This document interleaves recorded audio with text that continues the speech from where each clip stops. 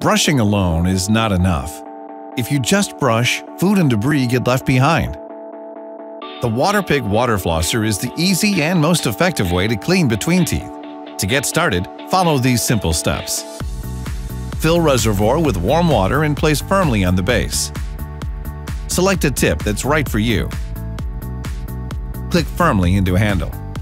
If this is your first use, you'll need to prime the pump. Number 1. Set the pressure control to high. Number 2.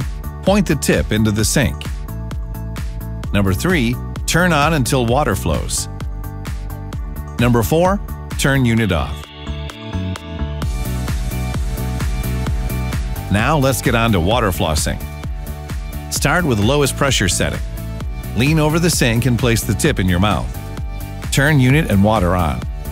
Partially close lips to prevent splashing and let water flow from your mouth into the sink. Aim the tip at the gum line. For best results, start with your back teeth. Move along gum line, pausing briefly between teeth. Floss front and back side of teeth for one minute a day. The Waterpik Water Flosser removes up to 99.9% of plaque from treated areas and is up to 50% more effective than string floss. You can have healthier gums and brighter teeth with the Waterpik Water Flosser.